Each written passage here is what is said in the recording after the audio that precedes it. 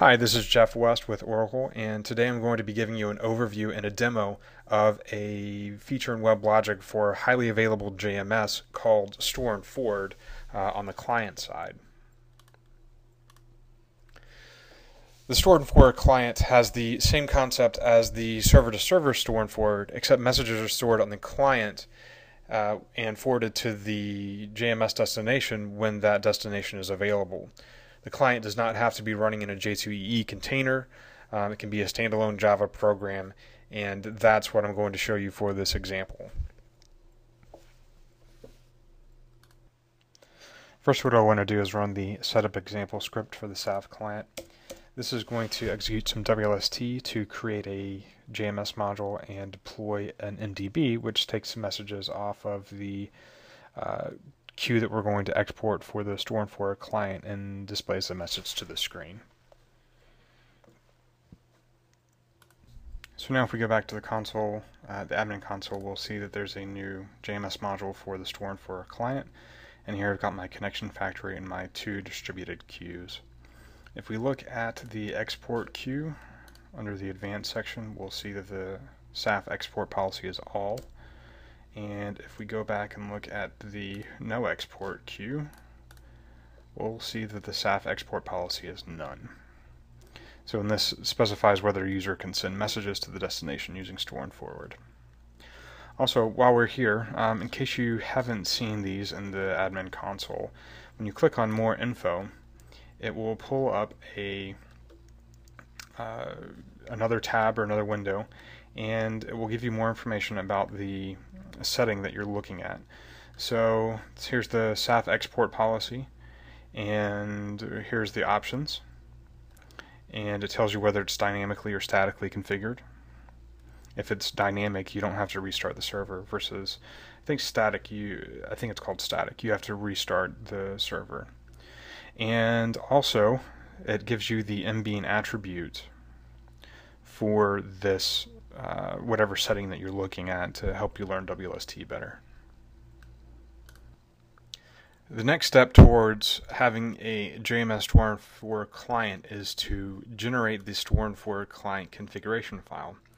In order to do this, you start with the JMS module configuration file and uh, run a command that generates the uh, file for you.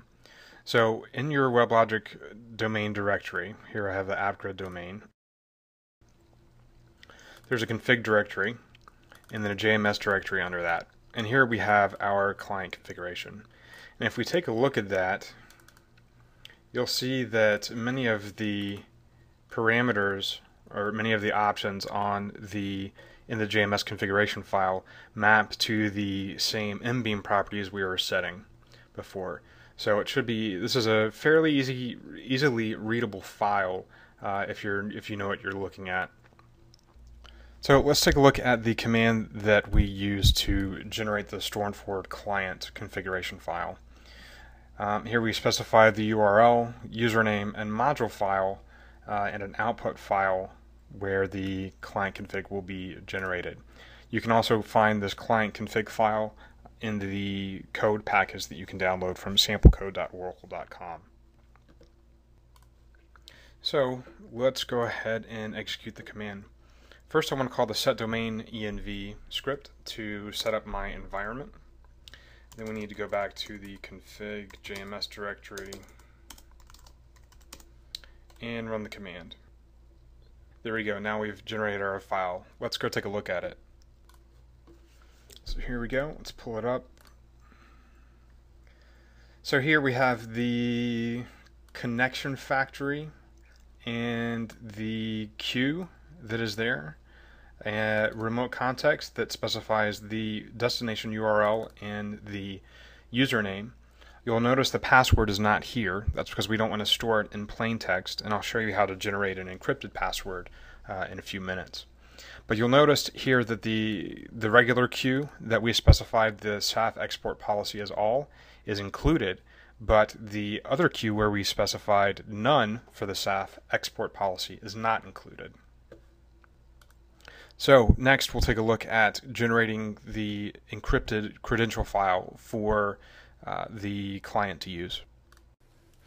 Actually, before we proceed, I want to show you a uh, I want to show you a configuration parameter where you can specify the persistent store on the client side.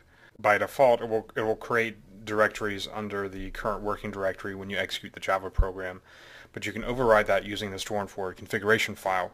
Um, so let's look at how we do that. So this is where you would um, put that information. Let's go ahead and for this example, I'm going to put it in the my uh, client directory here so we can uh, take a look at it once it's once we start creating messages.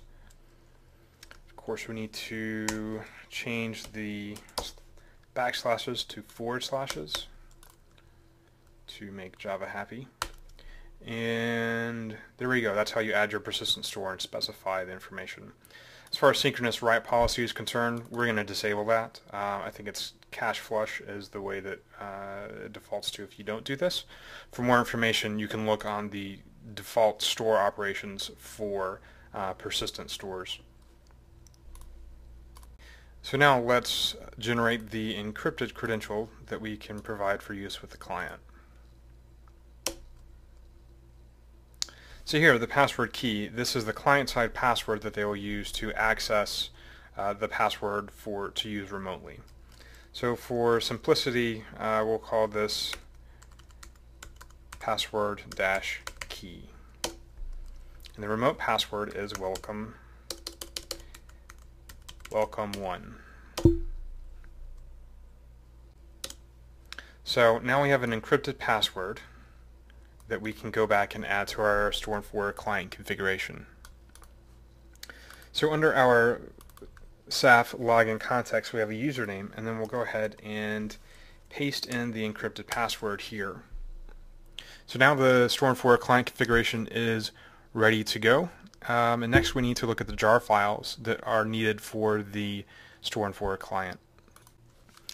So the jar files are available from the Oracle middleware home directory under WebLogic server server lib. And I've pulled the three jar files that are needed into a lib directory for the store and forward client. However, since WebLogic is licensed software, uh, we can't distribute these in the example code um, because the example code does not have a license. Or rather, it doesn't have the same license as uh, WebLogic. So let's take a look at the code that I'm using in my uh, SAF client producer. We'll see that it extends the WebLogic JMS producer. You don't have to use the WebLogic specific classes. I just chose to because I've put a lot of work into this class, uh, cleaning it up and making it good for examples. We'll see here that the SAF initial context class file is a little bit different. It has a SAF client string in the uh, package name and we have to, when we create the initial context factory, we have to pass in a config file and the password key. So here's the code. Let's take a look at the hash table. When we set it up, we're using the SAF initial context factory. For the provider URL, we're passing in the file name. And then for the security credentials, we're passing in the password key. This will this is the password that's used to unlock the encrypted password that is sent over to the JMS destination that's used to connect there. So it's a secure way of providing out the SAF client configuration file without exposing your credentials that you're using on your server. So other than creating the initial context factory differently, the rest of the code that you'll find in this class is similar to all the other classes. Um, just creating a producer and sending a message batch and that's going to create a connection and session through the connection factory and then uh, send messages to the final destination. So let's go ahead and uh, show a demo of that. I've got my admin server running in this window and my managed server is not running. So what we're going to do is run this class and we'll see what happens. So without the remote destination running, uh, the client won't know the difference the actual client code, and it will happen in the background with the uh, the SAF client code. The WebLogic code will manage the sending of the files. So here we see the client is trying to send the files. It opens the connection, creates a session in a, in a producer um, as it normally would and closes the connection. And so those messages, if we look at our directory here where we specified for the persistent store, the messages are stored in this file, this data file here. It's a file store. So here we'll see that the connection cannot be made, and of course it can't because it's not running. So this is going to continue to run in the background um, until the managed server comes up, and when it's available, then it will finally send the messages over. But what I'm going to do now is uh, kill this process and restart it. And the reason for doing this is to show you that between executions, the messages are persisted. So here, the second time I started it, it has recovered 10 persistent messages because those messages weren't able to be sent the last time the program was run. So I'll go ahead and resume this, and in the meantime, I am going to start my other managed server, or my first managed server.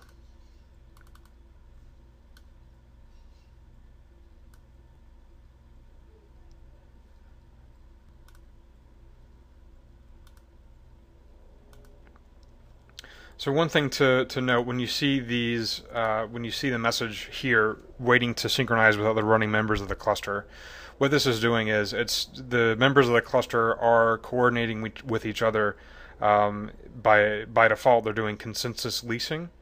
Uh, so there's a cluster master and it's communicating with the other members of the cluster so they know if they can resume the lease that they had for the services that they're running um, like the migratable JMS targets, for example. Okay, so now my managed server is up and running, and we'll see here that with the remote context was able to be created. And here we'll see on my managed server that the messages have been delivered. So I've got the first 10 messages from when I sent it when it was down the first time, and then I have the next 10 messages for a total of 20 that were um, sent on the next execution. So, thanks for stopping by. Uh, hopefully, you've found this demo and overview useful and informative. If there's anything you would like to see, please leave a comment on our YouTube channel or send us a direct message or tweet including the hashtag WebLogic uh, string. Thanks.